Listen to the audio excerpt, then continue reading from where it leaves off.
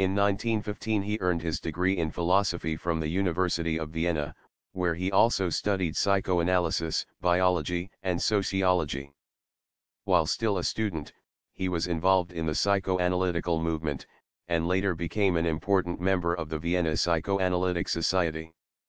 From 1922 until 1925 he practiced psychoanalysis in Vienna, and from 1925 to 1932 worked at the Berlin Psychoanalytic Institute. Subsequently he returned to Vienna, and with the threat of Nazism, went into exile in Menton on the French Riviera, where he stayed until 1936. Afterwards he emigrated to the United States, where he worked as an educator in San Francisco. Bernfeld is remembered for his research in providing a link between psychoanalysis and educational theory.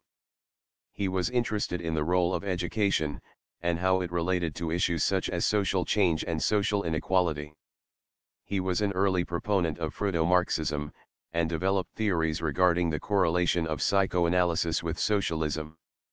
He regarded educational reformer Gustav Wyneken, 1875 to 1964, an early influence in his career, and was a member of several liberal and youth culture organizations.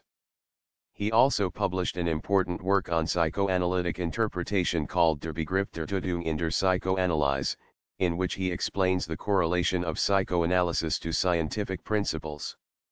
Later in his career, he published several articles about the early scientific work of Sigmund Freud.